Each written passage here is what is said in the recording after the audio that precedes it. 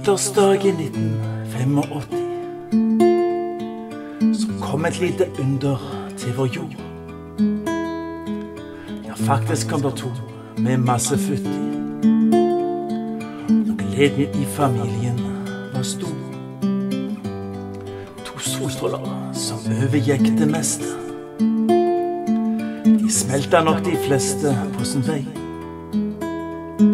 Og ennå, stråler på sitt beste, så varmes hele verden så å si. I dag så skinner Karin på sin Erik. Og Erik stråler med, som alle rundt her nok kan se. De planlegger et liv i sammen. Tenk så fint det er. Vi ønsker dere masse lykke til.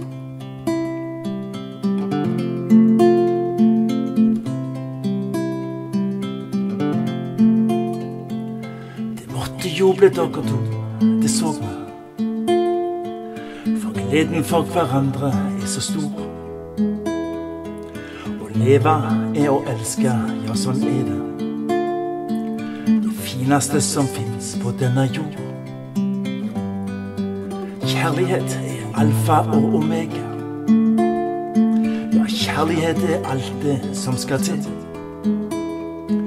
Og brudeparet bærer saktens preg av at de har funnet ut av nettopp det.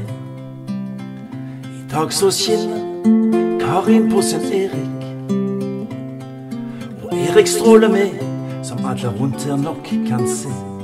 De planlegger et liv i sammen. Tenk så fint det er. Jeg ønsker dere masse lykke til. I dag så skinner Karin på sin Erik. Og Erik stråler med, som alle rundt her nok kan se. De planlegger et liv i sammen. Tenk så fint det er. Vi ønsker dere masse lykke til.